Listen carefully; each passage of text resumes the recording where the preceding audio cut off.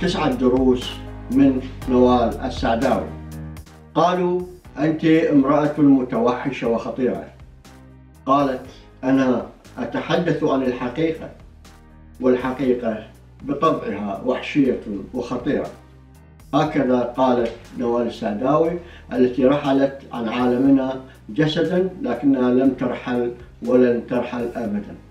في واحدة هي واحدة من أكبر أيقونات الفكر الحر واستطاعت وحدها كشف عورة النظام الأبوي البطريركي الذي هيمن على مصير نصف المجتمع وعطل طاقات النصف الآخر واستنزفها وما زال في خرافات لا أول لها ولا آخر ولا نفع ولا دفع والأخطر أن أغلبها ضرر في ضرر والواقع يشهد بهذا. برحيلها فقدت نساء العرب والعالم صوتا كبيرا لم يعرف يوما التراجع ولا التخاذل ولا التهاون.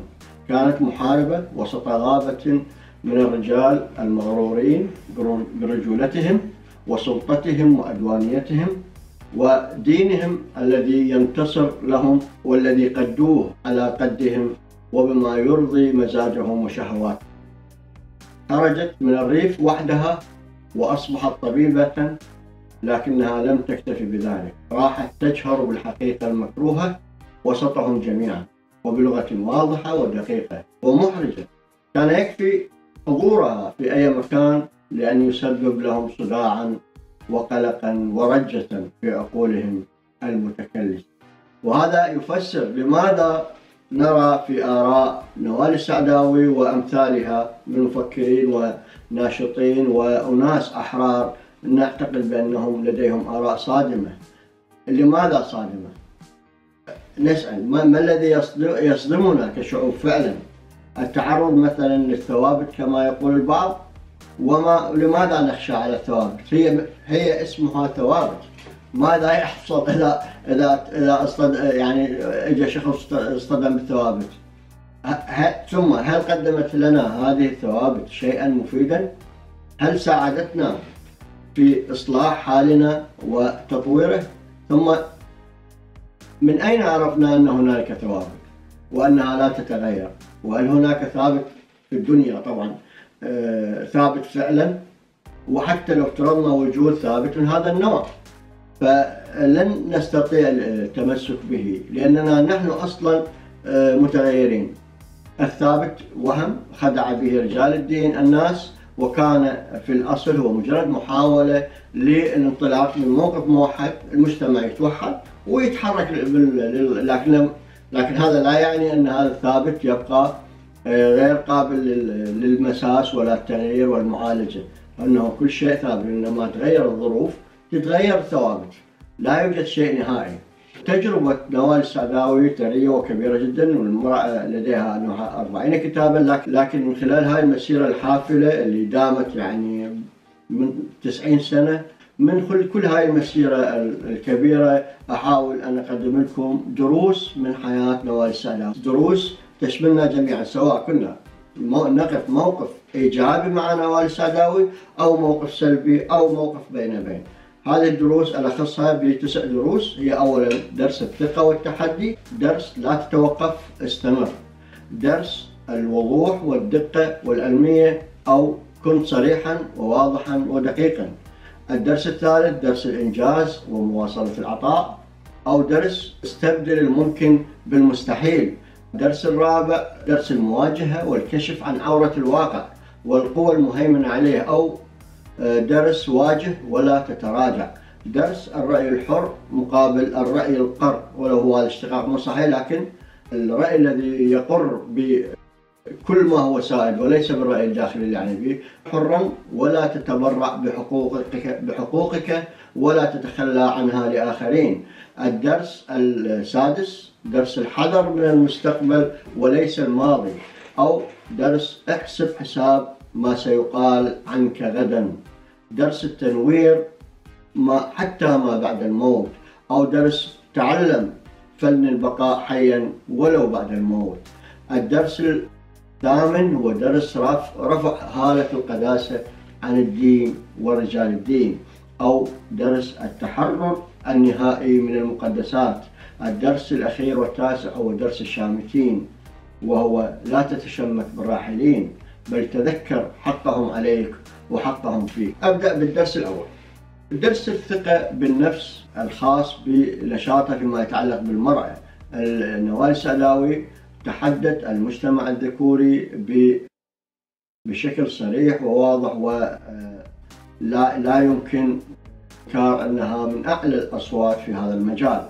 في هذا الدرس قدمت نموذج للنساء جميعا آه، منحتهم الثقة مضاعفة بالنفس وفي حياتها آه، دعت النساء جميعا للدفاع عن أنفسهن وقدمت طبعا هي بنفسها نموذج لا يمكن التغافل عنه أو عدم الإشارة له. نوال السعداوي بعد هذه المسيرة الحافلة أثبتت أمر خطير جدا غير مسبوق إلا قليلا وأعني إمكانية وجود فرد حقيقي يرفض التخلي عن إنسانيته ويتصدى لمن يحاول تجريده تجريده منها بل لا يكتفي بذلك يقول لمن لمن يواجهه أفق اصحى دافع عن إنسانيتك ولا تكن بوقا كن أنت الإنسان الفرد الحر الكريم المعتمد على نفسه آه، والمتعكز على خصوصيته واستقلاليته ووعيه. السعداوي آه، ناضلت لعشرات السنين ضد سلطات من مختلف أنواع السلطات، سلطات دينية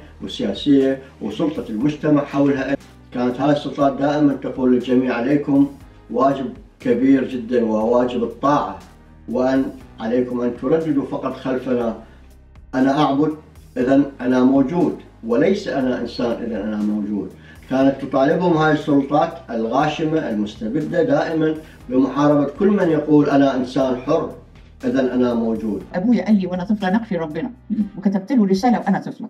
إذا كان ربنا بيقبل النقاش ويقبل النقد يبقى الباقي آه، نطاعهم لا أستطيع أنا لا أستطيع أن أطيع لأن الطاعة ضد الإبداع. ما معنى الطاعة؟ يعني إلغاء العقل. في فرق بين الطاعة والإحترام. كيف ذلك؟ يعني مثلا أنا معك دلوقتي أحترمك ولكني لا أطيعك.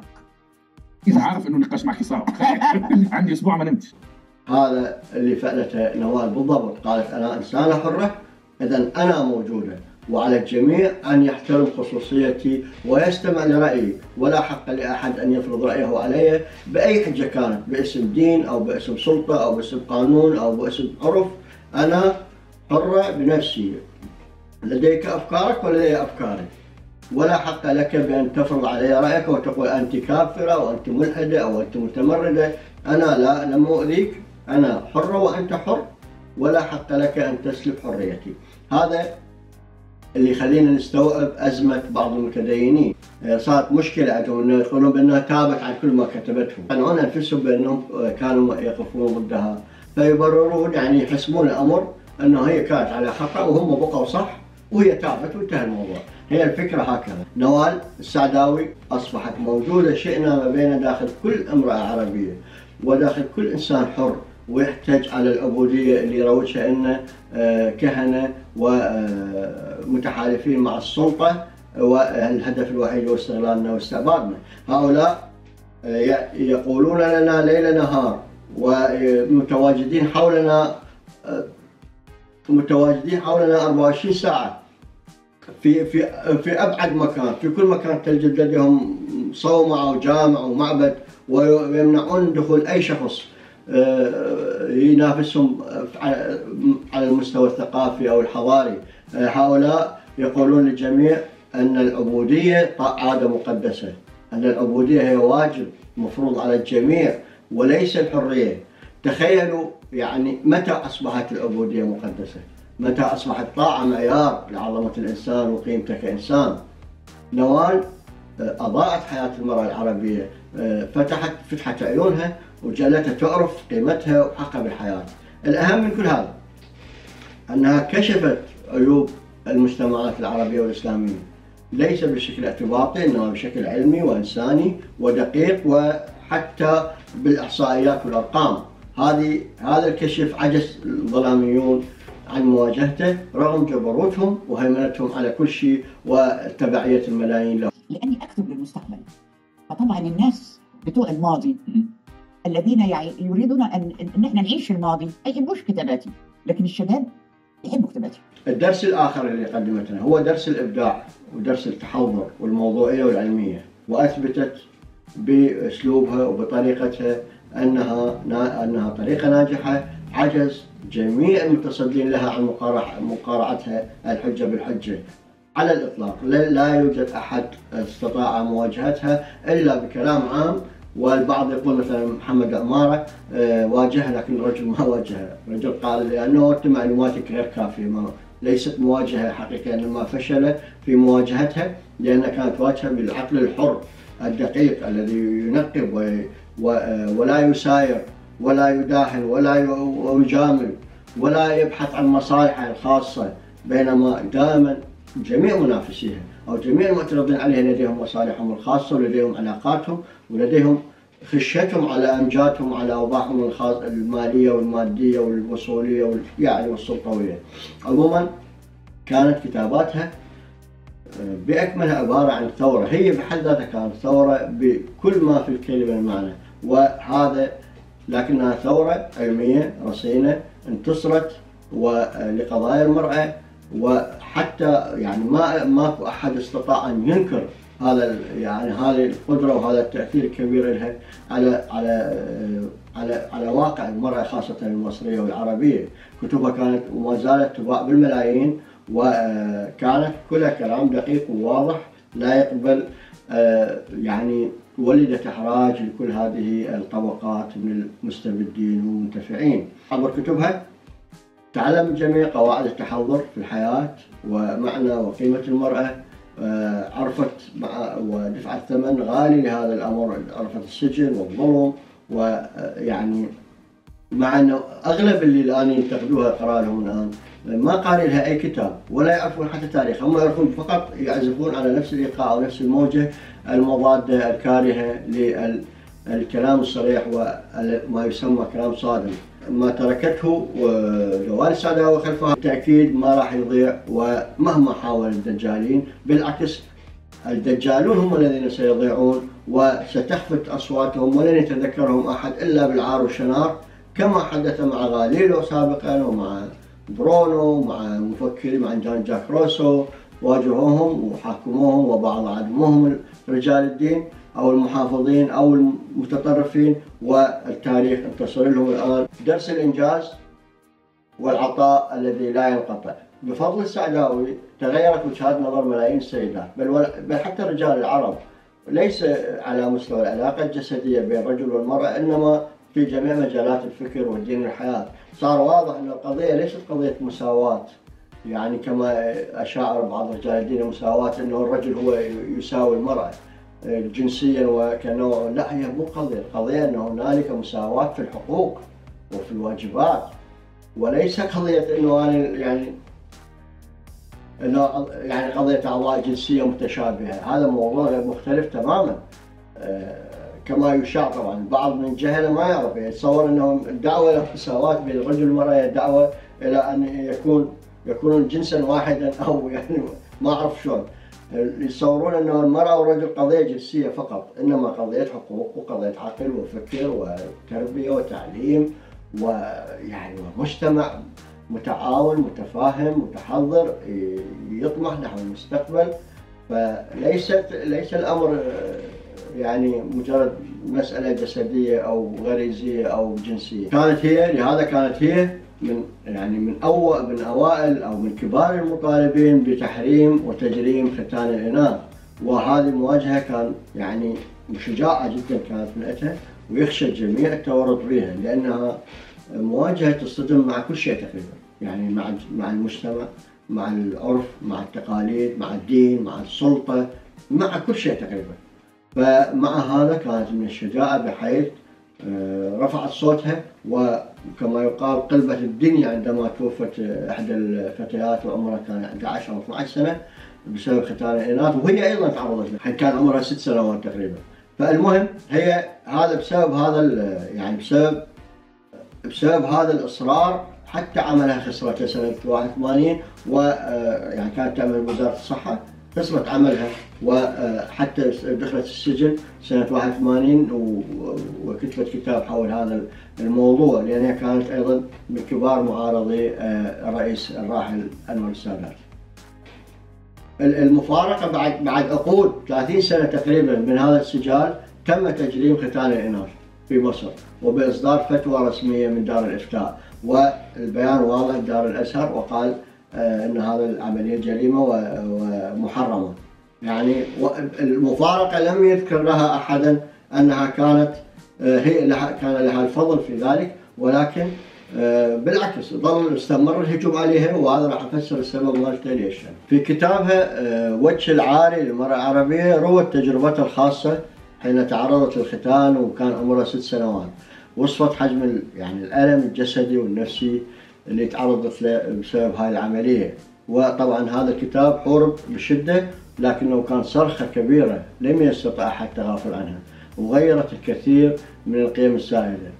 وهي كما قلت نجحت بتحقيق ما لم يتحقق لعشرات القرون وفازت بقرار منع الختان. لم تكتفي بكل ما فعلته وواصلت حتى اللحظة الأخيرة من حياتها المشاركة في كل مطالبة بحق وثورة ضد الظلم وضد الاستبداد. وكانت هي يعني رفيقة السلطات عدوة السلطات الاستبدادية والدكتاتورية وحتى هي كلنا نتذكر مشاركتها بوسط ساحة التحرير بثورة مصر على حسني مبارك بأيام الربيع العربي ووجودها وحضورها رغم كبر سنها عمرها كان يعني تقريبا 80 سنة وكانت موجودة بالوسط وتهتف مع الشباب وتحييهم وتشجعهم وتقول طالبوا حقوقكم ولا تراجعون. هذه عظمة نوال السعداوي آه، يكشفها أيضا آه، موقف الإسلاميين المتعصبين منها.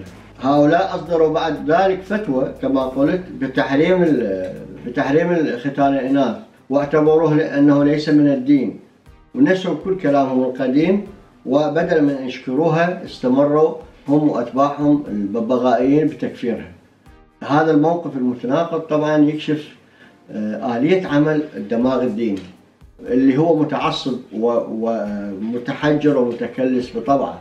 هذا أنا أقول إن هاي وحدة من أهم خصائص الأديان عموما أنها أنها دائما معادية للتغيير وكما يقولون بالضبط المحافظة على الثوابت. ليس المهم ما هي الثوابت لا الأغلبية لا يفهم ما لا يعرف ما هي الثوابت أصلا. يعرف كلمات أنه كذا كذا كذا لكن ما يعرف شنو معناها وشنو جوهرها وشنو قيمتها. المهم هو لديه شيء ثابت يتبعه كما آه، خلف القطيع وانتهى الموضوع. إن هنالك شيء واضح معتاد عليه ويستمر به إلى النهاية. أي شخص يجي يعكر طريقه هذا بالنسبة له كان خطر ويجب التخلص منه. هذه الفكرة الدينية هي عصب الرئيسي لكل الأديان وأعتقد انه كل كل شخص آه، عندي نظرية تثبيت ثاني كاتبها وراح يعني آه، شارحها في مكان آخر. المهم هو أن هؤلاء يفكرون بأن هنالك من شخص وقف ضد الثوابت. إذا اجى شخص القائد هذا ال- ال- ال- الشخص الذي يحتضن هاي الثوابت ويتبناها كشيخ أو إمام أو ولي أمر كبير هم يتبعون ما يقوله. تغيرت الثوابت بالنسبة له هم يسيرون خلفة. أما الشخص الذي اعترض على الثوابت فهو يبقى دائما مكروها مطرودا لأنه الفكرة إنه هو اعترض فقط. وليست الفكرة أنه هو صح أو غلط. أفرغ ال- ال- الفيديو ونشره ب- بالموقع مالتي وتشوفون يعني التفسير أكثر بهذا المجال. أنا أقول أنه كانت نوال الساداوي جريئة جدا وحتى طالبت بمساواة الرجل المرأة بالرجل بقضايا الميراث وأيضا لها مواقف مشهورة ضد حجاب المرأة وقالت أنه رمز لاضطهاد المرأة وأنه ضد الأخلاق. ما الجنة أدخل ب- بحجابي بفضل إنه أنا ابتديت حجاب على رأسي إنما أدخل بفضل أخلاقي وسلوكي. قالت أيضا يعني عودة من الأسئلة الغريبة اللي قالتها. قالت أني آه، مرة سألوها قالها أنت مسلمة؟ قالت آه، ما أعرف أي إسلام تقصدون. تقصدون يعني إسلام مصر ولا السعودية؟ فقالت إنه كل كل منطقة بها نظام سياسي يشرع أو يسير الإسلام اللي يعجبه فهو قضية الإسلام ووجود إسلام واحد قضية يعني غير حقيقية وغير موجودة. والكل يتحدث إنه الدين الصحيح وغير الصحيح لكن هاي قضية اني جاوبت راح أجاوب عليها بعدين. آه، الدرس الآخر اللي قدمت لنا نوال السادة هو درس القدرة قدرتها القدرة آه، على الكشف عن عورة الواقع. وبفضلها تغيرت وجهات نظر ملايين السيدات ورجال العرب فهي كشفت عورة السلطة والمجتمع والتراث وجعلت القوى المهيمنة عليه آه، تكشف عن وجهها الحقيقي وعن استعدادها يعني للتعبير عن مواقفها بالعنف واستهانة بالإنسان وكل كل حاجاته وحقوقه. هذا الأمر آه، أثبتته طبعا الوقائع بل مليون واقعة. آه، أنا يعني أكد بأن النظام الديني نظام فاشل وضعيف أيضا ضعيف في في المعنى في في, في البنيان. لهذا السبب هو يخلي آه، يعني يخليه دائما ضد ضد ضد أي فرصة للتطور. فاشل بحيث لا لا يستوعب أي نقد. آه، عندما تكون أنت ضعيف آه، آه، ضعيف الحجة فما آه، ما عندك حل غير أنه تفرض نفسك على الآخرين بالقوة وبأي وسيلة كانت حتى لو كانت الكذب والتشهير والقتل واي أي فرصة. وهذا معروف طبعا ما يحتاج أنا اشرحه للجميع يعني. درس آخر قدمته لنا نوال هو درس التعبير عن الرأي وسميته درس الرأي الحر مقابل الرأي القر. القر يعني من الإقرار أقصد بس هو اشتقاق مو صحيح لغو- لغويا لا يجوز لكن اني على مود السجع فقط.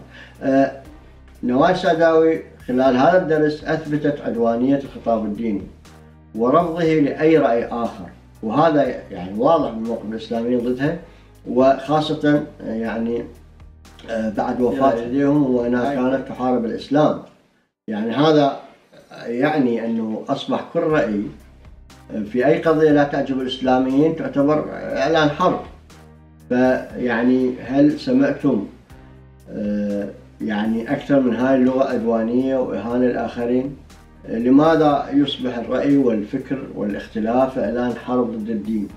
يعني ما ما ما الحاجة لهذه المبالغة والتهويل؟ ثم ماذا يضير ما يضير الإسلام لو انتقد لو انتقده أحدهم؟ يعني هل هو ضعيف كما قلت إلى هذا الحد وحساس ورقيق يعني آه، بحيث ما يحتمل نسبة نقد عابرة؟ الجواب لا الأمر مو هكذا لكنه يعني إنه الغرور والتكبر والشعور بامتلاك الحقيقة وهذا الشعور طبعا يعني يوضح بأن صاحبه هو داعشي بامتياز نتيجه من هذا السلوك إنه يصبح الدين مجرد شعار بلا معنى. ضمن كل شيء ولا شيء في الوقت نفسه. ولا أحد حتى اللي يتحدث عن الدين ما يعرف شنو. مو لأنه بلا مضمون بل إنه مضمون خارج الواقع. وخارج تاريخ وخارج العقل وخارج المنطق. يصير بس الهدف الوحيد هو وحدة القطيع وحدة يسموها وحدة الجماعة. خلف نص واحد وزعيم واحد وإله واحد ورأي واحد. يعني مجرد روبوتات بشرية يحركها رجل دين وبعد يجلس وين يقعد مثلا على أطراف الغيم. ما في شيء يعني عجيب. ما أعرف هاي شلون يفكرون ما, أفهم. المهم هذا جعل الناس يفكرون بطريقة نمطية وهذا السلوك يعني يعني ما يعني على الأقل يا أخي ستة تشوف اكو واحد يدافع عنك. امرأة تدافع عن حقوق النساء وتدافع عن آه، حق في الارث في الحياة في الاحترام في في الحقوق في الواجبات. هذا دافع عن على الأقل اصمت يعني. ليش توقف ضدها يعني؟ ان إنه بالنتيجة راح تصب بصالحك. وما راح. ودينك ما بالعكس دينك راح يتحسن أكثر. راح يصير أكثر قابلية لل... يعني يعطي حقوق للآخرين أكثر قابلية على أن ينتصر للناس. لأن اذا الدين ما ينتصر للناس من ينتصر لهم اذا رجال الدين يقولون لا بالعكس يقلبون المعادله يقولون لا الناس تنتصر للدين. يعني والأولوية للدين على الناس. فتخيلوا يعني مدى آه، مدى استبدادية آه، هؤلاء ومدى قدرتهم على غسل العقول بحيث جعلوا الناس يفهمون الأشياء بالمقلوب. أتخيل إنه الدين أهم للإنسان. زين إذا إذا ماكو آه، إذا ماكو إنسان وين يروح الدين؟ ماكو دين. تخيلوا المسألة يعني هذه هذه الفقرة أنا بها عندي نقاط كثيرة راح أتركها بالمقال.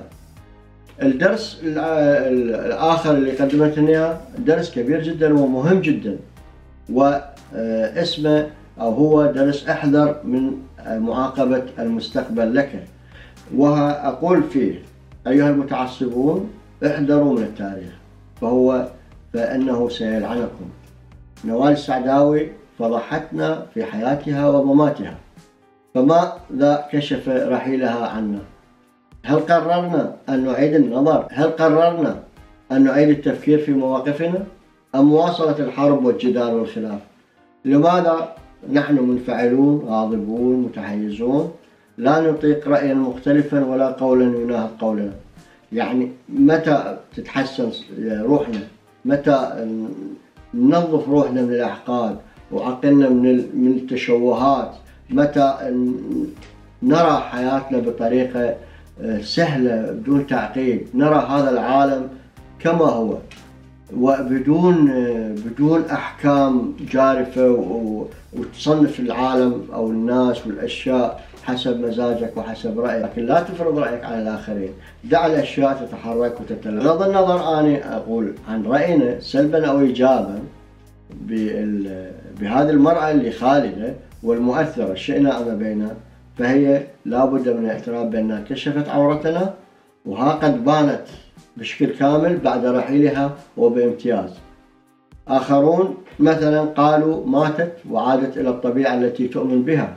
وأنها لن تنال الرحمة بعد موتها.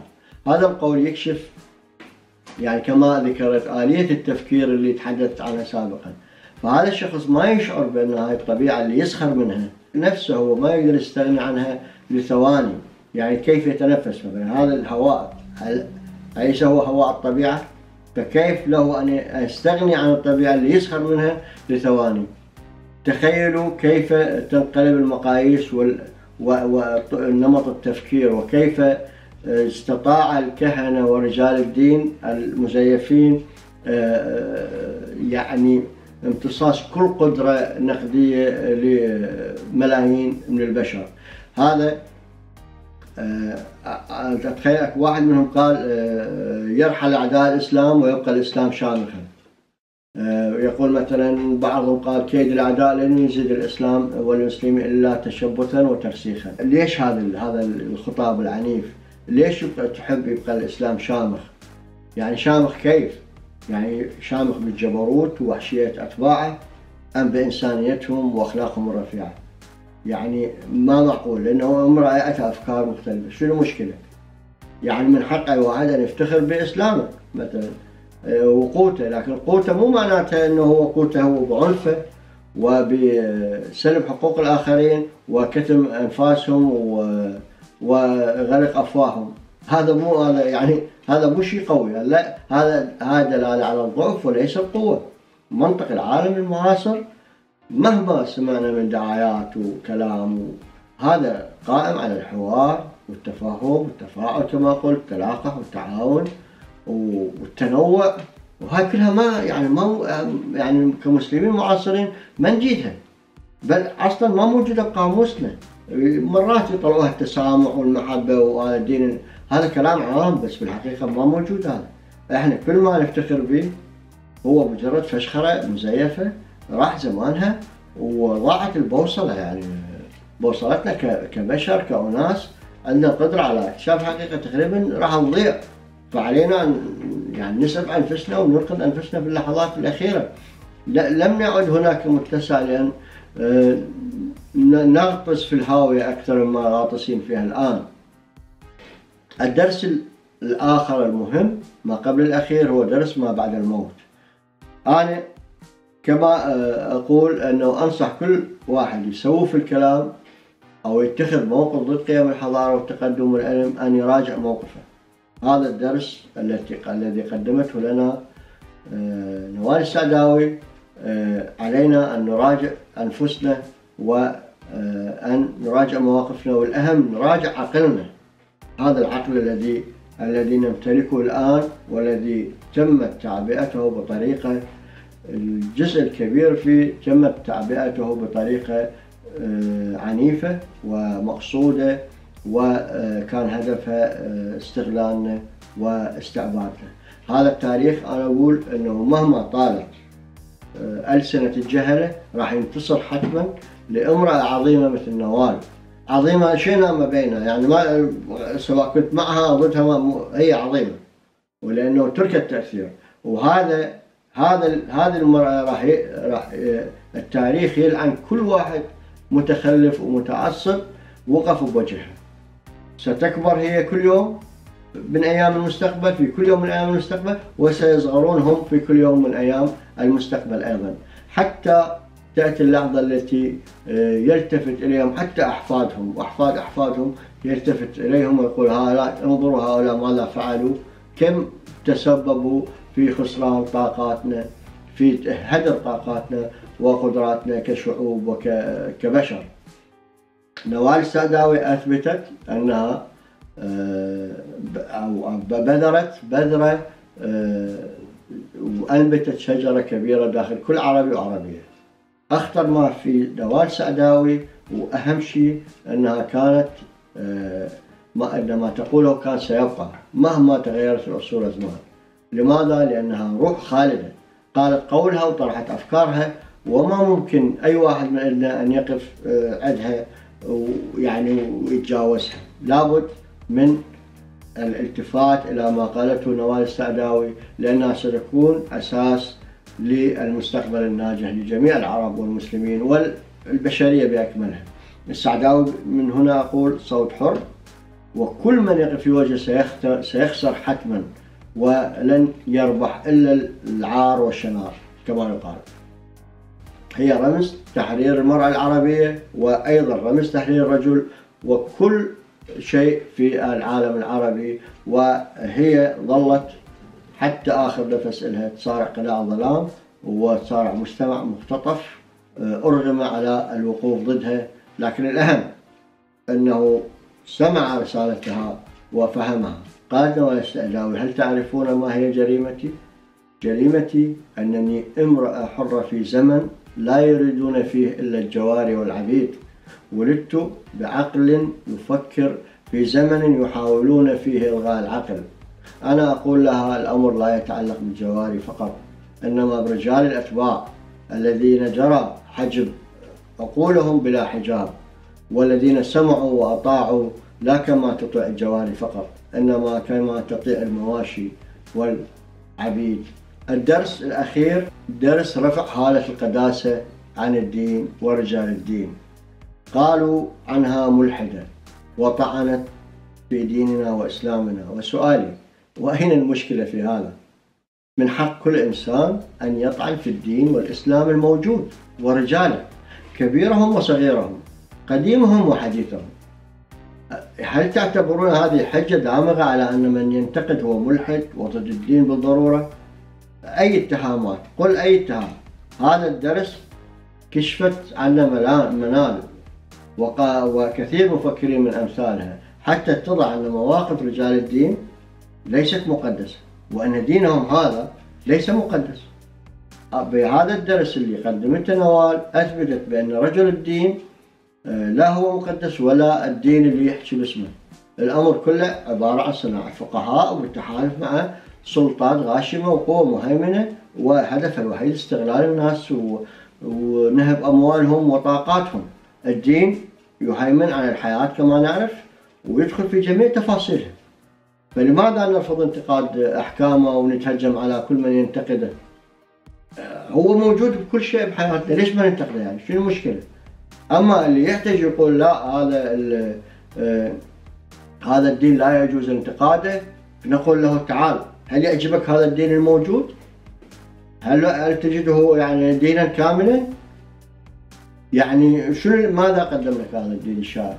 وماذا أخذ منك؟ كم كم تضحي من أجله أنت؟ وهل ضحى من أجلك يوما؟ إنه يضع نفسه أهم من عندك يعني. هو أول ركن من أركان الدين إنه هو يعتبر الدين والرجال يعتبرون نفسهم أهم منك وأهم من الانسان وأهم من المؤمنين كلهم.